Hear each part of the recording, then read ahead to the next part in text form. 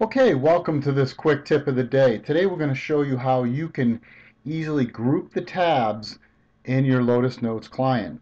So you can see here I can open up the tabs and they open up as separate tabs. And I can navigate between them. Now you can imagine as you get more and more that could get kind of confusing. So what we want to do is we want to go in here to File, Preferences, and we're going to go all the way down to Windows and Themes, and we're going to select this option right here. Group documents from each application tab on a tab. And we'll click OK.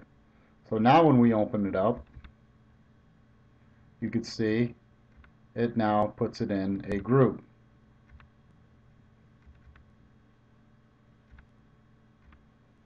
And you could still navigate between the tabs using the keystrokes or the down arrow.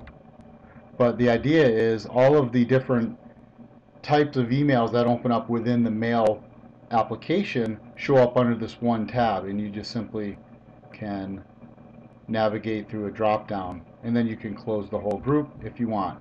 So there you go. That's the quick tip of the day.